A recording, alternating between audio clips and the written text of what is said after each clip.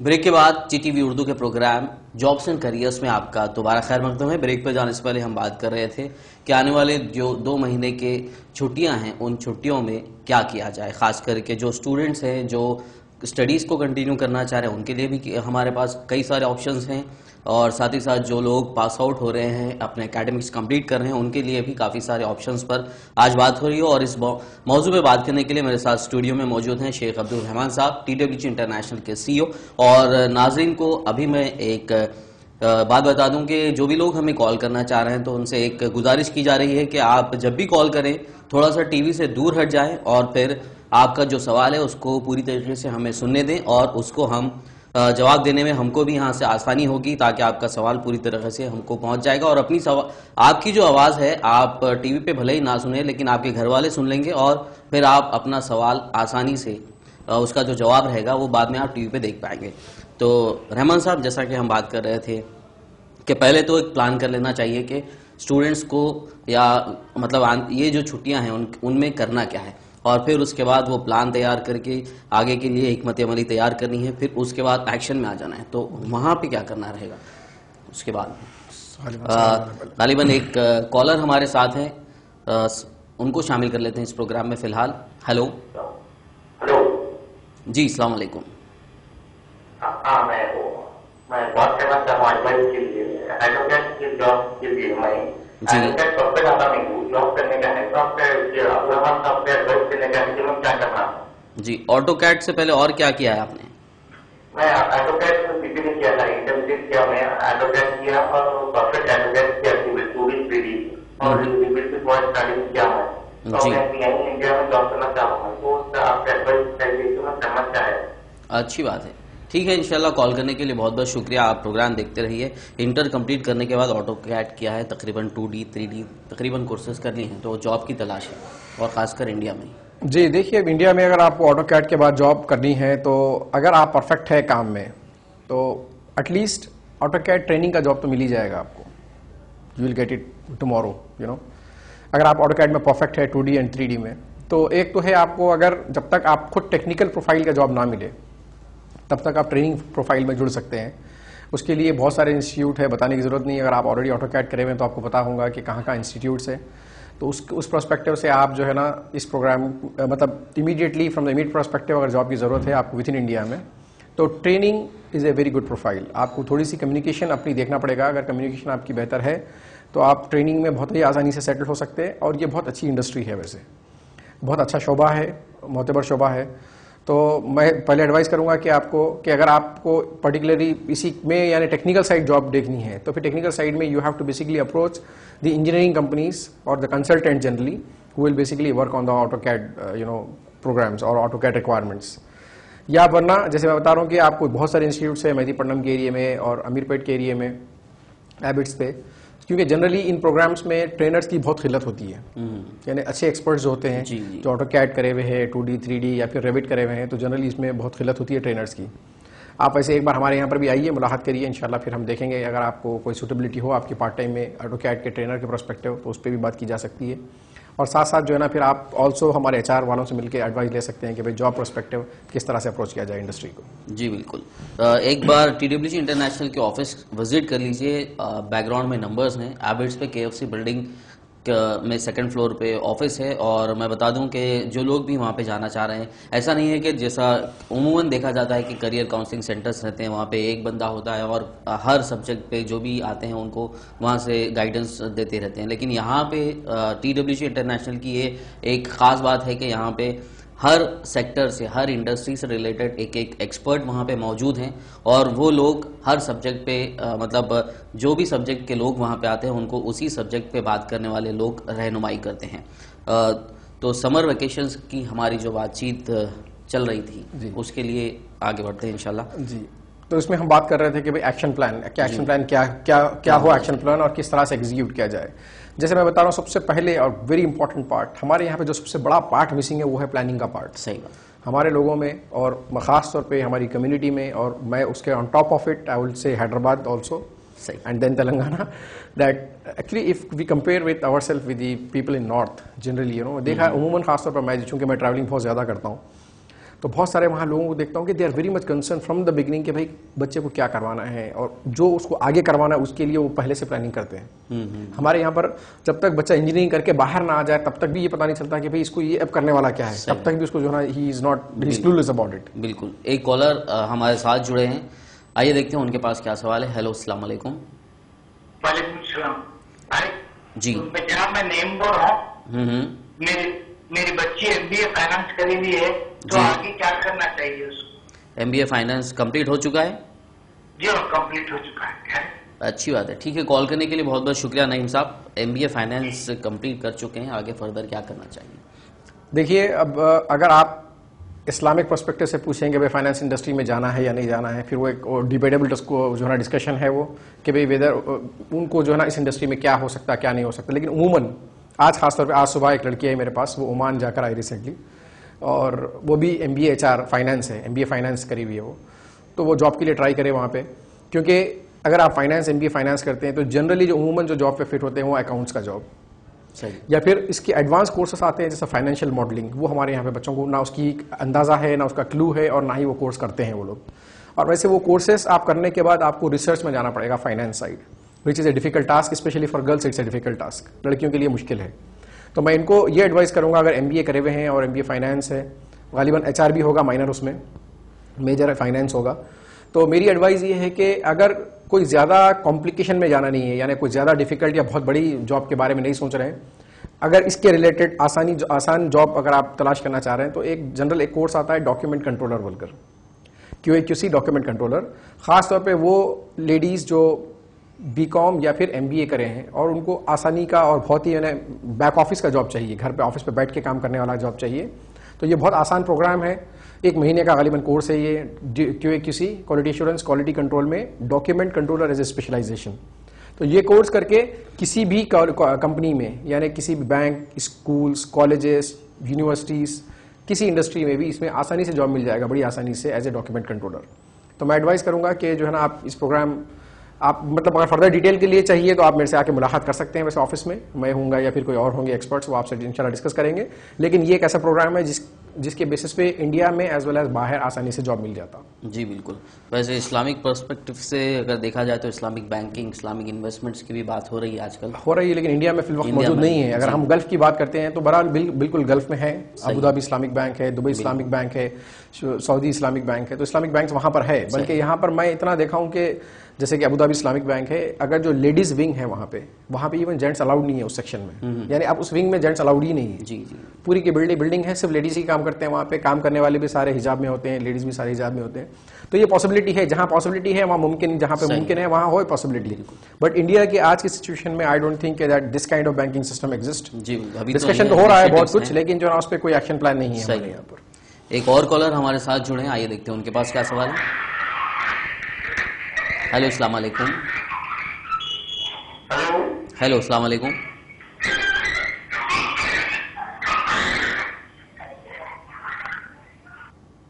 Hello शायद call drop हो गई है। बार बार गुजारिश करने के बाद हर मरतबा बोलने के बाद भी अ, नाजरीन, कुछ ना कुछ गलती हो जाती है कॉल करने के दौरान, या तो आसपास आवाज़ से, या फिर टीवी के पास ठहरे हुए होते हैं।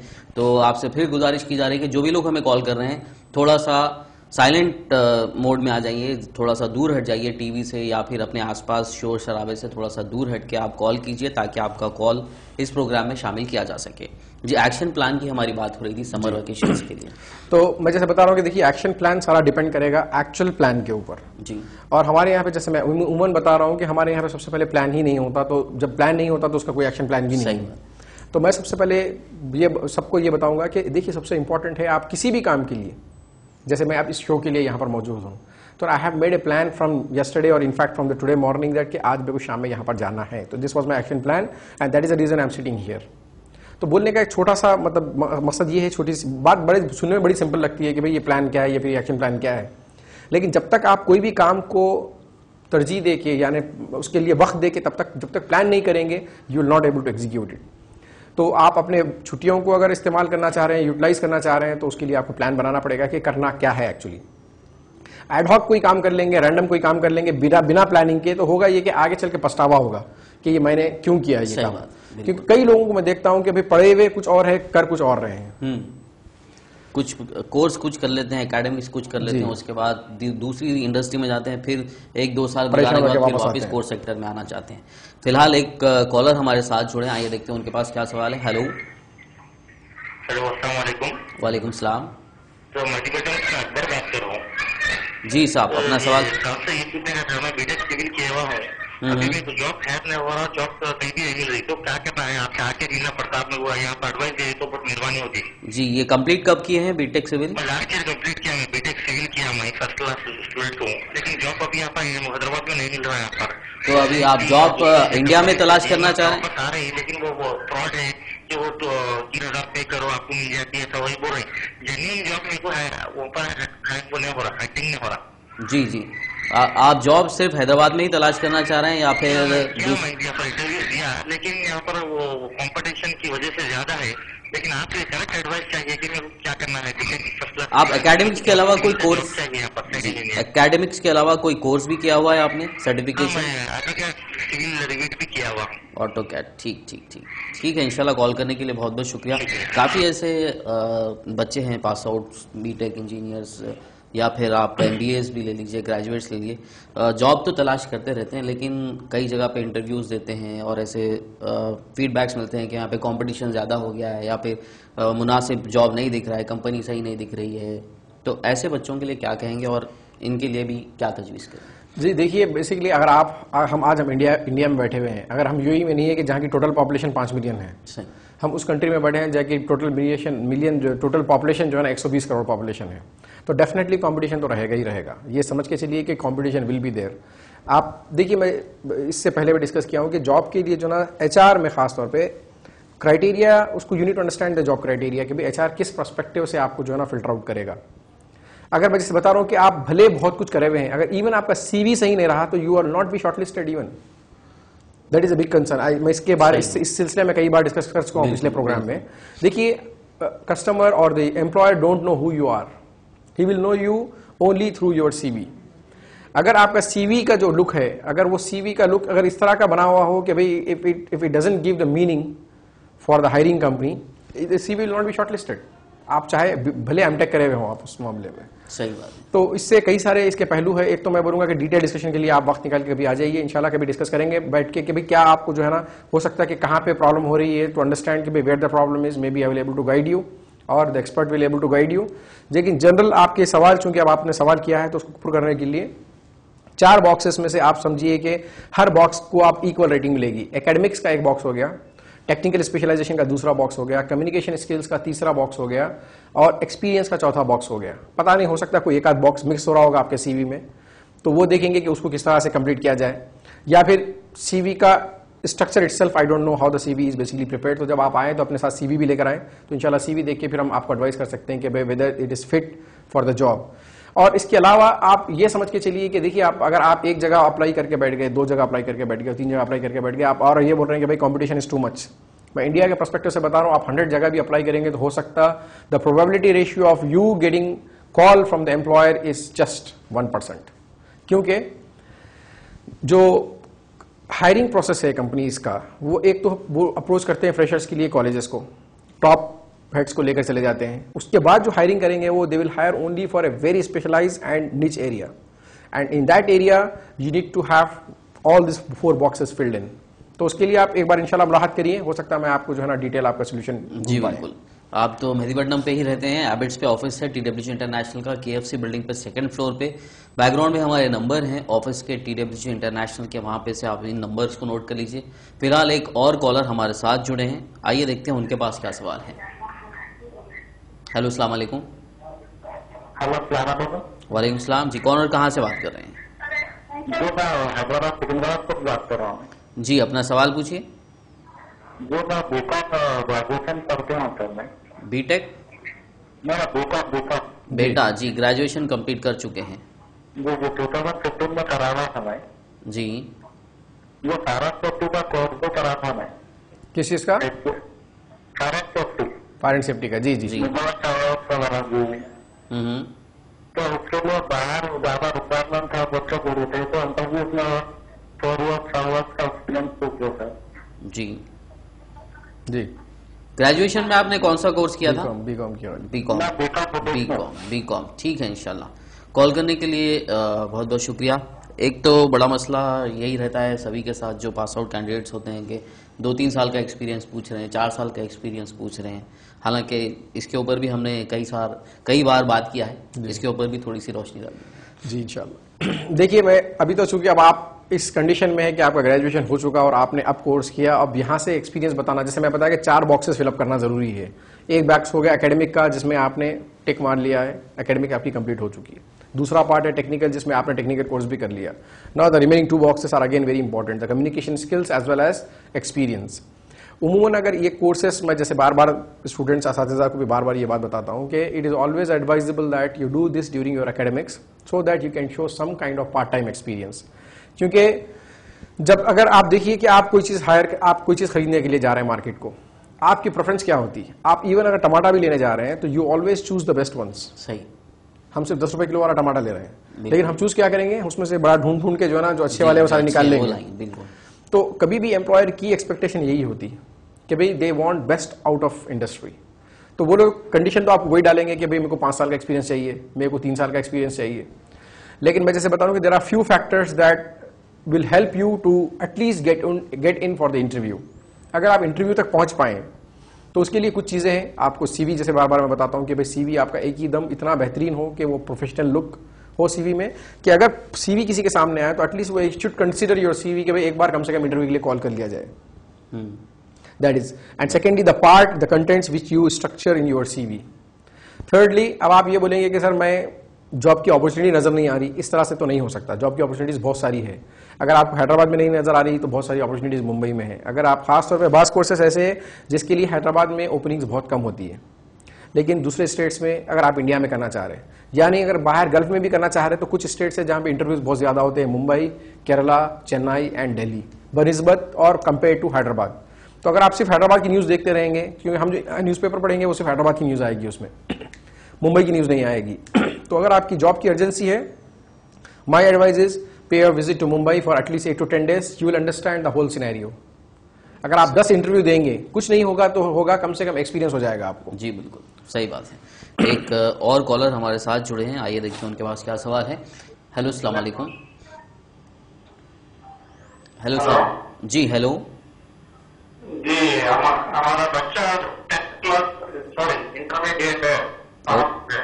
ओके। अभी नेक्स्ट आगे फ्यूचर में क्या करवाना है? इंटरमीडिएट में कौन सा ग्रुप किया है?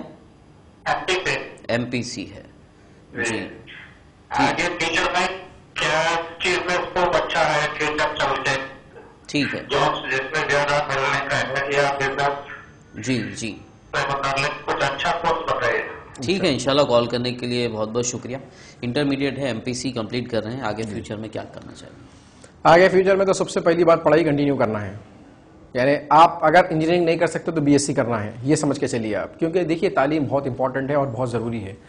अगर मैं समझ सकता हूँ अगर आप ये बोल रहे हैं कि भाई फाइनेंशियल कंडीशन टाइट है और इसको जो है ना ग्रेजुएशन नहीं कर पा पाएँगे तो उसके लिए बहुत सारे ऑप्शन है आपको। यानी गवर्नमेंट कॉलेजेस अगर पेड कॉलेजेस में नहीं करवा सकते हैं प्राइवेट में तो। लेकिन बोलना ये चाह रहा हूँ कि पढ़ाई तो कंप्लीट करनी ही करनी है कंटिन्यू करनी ही करनी है, यानी कम से कम ग्रेजुएशन तो करना ही है इनको। चाहे वो कोर्स अब ज्वाइन करके बाहर चले जाएँ दुबई, एक साल के बाद आके एग्ज़ाम लिखें, या फिर ग्रेजुएशन मुकम्मल करके बाहर जाएँ, बहुत सारे ऑप्शन है। और रहा इनको कोर्स के रिलेटेड जॉब ओरिएंटेड जो one of the very important program वो है सीसीटीवी से रिलेटेड या ईएसएस का कोर्स को कहा जाता है इलेक्ट्रॉनिक सिक्योरिटी सिस्टम जिसमें बहुत सारी जॉब अपॉर्चुनिटीज़ इंडिया में भी है और बाहर भी है। और ये कोर्स इनके एकेडमिक से इनलाइन है। जो एमपीसी करे हैं साइंस से रिलेटेड है कोर्स ये। तो ये कोर्स में आज की तारीख में जो उनके लिए ज़रूरत है, उतना कोर्स कर ले अभी। और फिर आगे जब ज़रूरत पड़ती है तो ये कोर्स को इन एडवांस कोर्स कर सकते हैं आगे चल के। लेकिन जैसे मैं बता रहा हूँ कि एकेडमिक इनको आगे करवाइए आप, या फिर नहीं तो मेरे पास भिजाइए। मेरे से मैं इंशाल्लाह बात करूँगा उनसे, ताकि एकेडमिक भी हो और साथ साथ टेक्निकल कोर्स हो। टेक्निकल कोर्स होने के बाद पार्ट टाइम जॉब करते करते वो डिग्री कंप्लीट कर सकते हैं, कोई प्रॉब्लम नहीं है। जी, बिल्कुल। अगर आप रहमान साहब के पास या ऑफ़िस को भिजवाना चाह रहे हैं अपने बच्चों को, या फिर जो भी लोग ये प्रोग्राम देख रहे हैं और कई सारे सवाल होंगे। आपके पास भी अपने अपने फ्यूचर को लेकर। अगर आप भी रहनुमाई चाहते हैं तो बैकग्राउंड में हमारे नंबर्स दिए जा रहे हैं टी इंटरनेशनल के। उन नंबर को आप नोट कर लीजिए और टी का ऑफ़िस एबिट्स पे है सेकेंड फ्लोर पे। वहाँ पे आप जा सकते हैं। इनशाला वहाँ से आपको आपके करियर के लिए अच्छी सी काउंसलिंग मिल जाएगी। और साथ ही साथ जैसा कि आज हम प्रोग्राम में बात कर रहे हैं तो रहमान साहब ने बताया कि ये जो समर वेकेशन है, यहाँ पे बच्चों के लिए काफ़ी सारे टेक्निकल कोर्सेस अवेलेबल हैं खुद टी डब्ल्यू इंटरनेशनल में है। कई सारे कोर्सेज फ्री के भी हैं जो गवर्नमेंट फंड कर रही है और कई सारे कोर्सेस वहाँ पे आ, मतलब पेमेंट फ़ीस के वाले भी कोर्सेस हैं जो एडवांस कोर्सेस हैं। तो वो कोर्सेज के मुताबिक भी मुतालिक भी अगर आपको जानकारी चाहिए तो आप बैकग्राउंड में जो नंबर आ रहे हैं टी डब्ल्यू इंटरनेशनल के वो नंबर्स को आप नोट कर लीजिए। एबिट्स पे ऑफ़िस है वहाँ पे आप जा सकते हैं। वहाँ से भी आपको उन कोर्सेज के बारे में भी मजीद तफसीत मिल जाएगी कि आपको सूटेबल कौन सा कोर्स रहेगा, वहाँ से आपकी रहनुमाई हो जाएगी। ये कोर्सेज बेसिकली कितने दिनों के, क्योंकि समर वेकेशन जो है, वो सिर्फ़ दो से मतलब डेढ़ से दो महीने का होता है। तो ये कोर्सेज का ड्यूरेशन क्या रहेगा? देखिए, सबसे पहले तो कोर्सेस वन वीक से लेके थ्री मंथ तक मिनिमम जो मतलब शॉर्ट ड्यूरेशन वाले जो कोर्सेज होते हैं वन मंथ से थ्री मंथ तक फिट होते हैं। हम्म। यानी वन वीक इनफैक्ट यानी बास कोर्सेज ऐसे हैं जो इंटरनेशनल कोर्सेज है वो सिर्फ़ वन वीक का कोर्स होता है। जी। जिसकी एकेडमिक्स थोड़ी हाई है वो शॉर्ट टर्म कोर्सेज के लिए बिल्कुल यानी तीन दिन या पाँच दिन वाले कोर्सेज भी उनके लिए। हम्म। जिसके एकेडमिक थोड़ा सा लो है उनको हम वन मंथ टू मंथ या फिर थ्री मंथ वाले कोर्सेज भी कर सकते हैं। ये जो one month two month three month है ये सारे के सारे फास्ट ट्रैक कोर्सेज है। यानी देखिए आप अगर दिन में एक कोर्स के लिए आप तीन घंटे स्पेंड कर रहे हैं और बनस्बत उसके कि एक कोर्स के लिए आपसे सिर्फ़ 45 मिनट्स स्पेंड कर रहे हैं।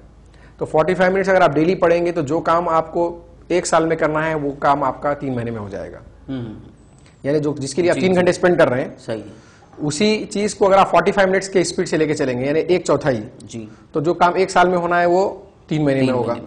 तो इस टाइप के जो जनरली जो कोर्सेस होते हैं टेक्निकल सारे के सारे शॉर्ट टर्म कोर्सेस होते हैं और ये कोर्सेस उमूमन एक महीना दो महीने या तीन महीने में मुकम्मल होते हैं। जी। तो जो इस अपने वक्त को यूटिलाइज करना चाह रहे हैं they can join the short term program और जो अपने एकेडमिक्स अभी कंप्लीट कर रहे हैं they can go for a short term और a long term program which can suit their academic background जिसमें लड़कियों के लिए अलग कोर्सेस है, लड़कियों के लिए, लड़कों के लिए अलग कोर्सेस है। फर्दर डिटेल के लिए आप आके ऑफ़िस में मुलाकात कर सकते हैं, इंशाल्लाह। आपको जो है ना डिटेल तफसील दी जाएगी। जी, बिल्कुल। जैसे कि प्रोग्राम के शुरुआत में रहमान साहब ने एक मिसाल दी थी, बर्फ़ के सील की। तो ये छुट्टियाँ भी बर्फ़ के सील की ही तरह हैं। अगर उसको ज़मीन पे छोड़ दिया जाए तो वो बर्फ़ की सील ज़ाया हो जाएगी कुछ देर में पिघल के, और अगर उसी को पानी में डाल दिया जाए तो पानी को ठंडा करने के काम में आएगी, और वो पानी ठंडा होने के बाद इस्तेमाल किया जा सकता है पीने के लिए। तो इसी के साथ रहमान साहब का भी हम काफ़ी मतलब मशहूर हैं कि आपने अपना कीमती वक्त निकालते हो यहाँ पे हमारे नाजिन के साथ इतनी सारी जानकारी शेयर की। आपका बहुत बहुत शुक्रिया। शुक्रिया नाजिन को भी हम बता दें कि ये प्रोग्राम हमारा हर चार शुमे के रोज़ सात से आठ बजे के दरमियान आता है और इस प्रोग्राम के जितने भी शोज़ हैं या फिर टी टी वी उर्दू पर जितने भी शोज़ दिखाए जाते हैं वो तमाम शोज़ यूट्यूब के टीटीवी उर्दू के चैनल पर अपलोडेड हैं, जो लोग ये शोज़ मिस कर गए हैं या फिर किसी और को दिखाना चाह रहे हैं तो आप बेशक वहाँ से उन शोज़ को दिखा सकते हैं। और साथ ही साथ टी डब्ल्यू जी इंटरनेशनल के जितने भी शोज़ यहाँ पे हो रहे हैं, ये भी टी डब्ल्यू जी इंटरनेशनल की जो वेबसाइट है गूगल पर आप सर्च कीजिए, वहाँ पर ये तमाम शोज़ अपलोडेड हैं वीडियोज़ पूरे वहाँ से भी आप देख सकते हैं। तो नाजिन, आपसे फिर मुलाकात होगी अगले प्रोग्राम में, तब तक देखते रहिए टी टी वी उर्दू। अल्लाह हाफिज़।